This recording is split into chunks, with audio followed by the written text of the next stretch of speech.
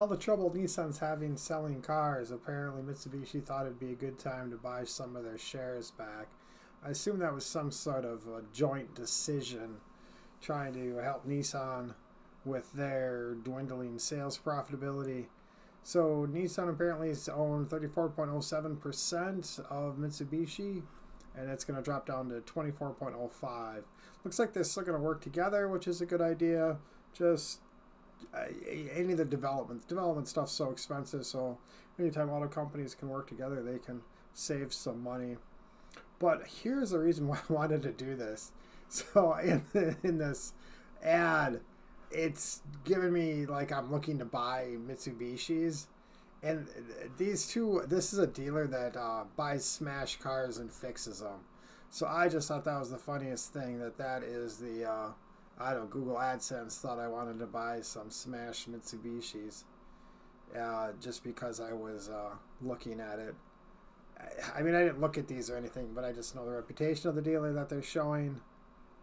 That they uh, have a bunch of vehicles. I mean, they're fixed and everything, but you know, it's just not a clean Carfax type of thing. You know, it's it's had issues.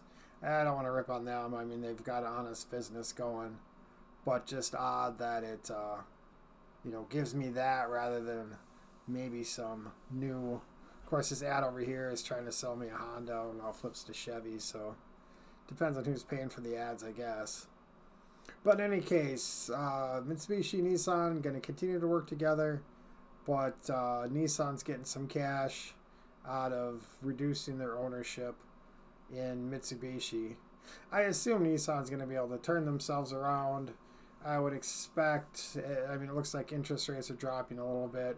Things are turning around a little bit in the U.S. at least. I'm not sure how they're doing in other markets, but they've been kind of struggling in the U.S. Uh, Nissan has. They've had to put on so much uh, incentives. So the uh, the automakers, for the most part, have been offering uh, interest rate cuts and different things like that. They haven't actually cut the prices of the vehicles. They've been giving interest rate cuts.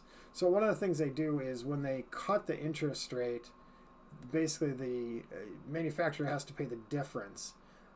But depending on how their contract's written, it's possible that when interest rates drop, they'll get some of their money back. I mean, hopefully they've got it written that way because when the interest rate drops, the bank loaning the money isn't going to be out as much, basically. So we'll see if they can get a little bit of kickbacks as the interest rates drop back down.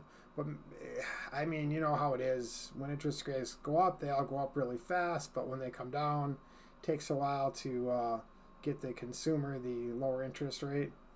So, so we'll see how that plays out. But hopefully, uh, Nissan turns their situation around. Uh, last I saw, they were still profitable, but had dropped to just about zero profit. And uh, bringing some cash in helps, but uh, you know, there's probably some dividends or something. I'm not sure how profitable Mitsubishi is, but uh, we'll see how Nissan does, and we'll see. Well, we'll see how uh, Mitsubishi does too. But the incentives are uh, really cutting in, but uh, hopefully that turns around for them and they can uh, become more profitable. All right, thank you.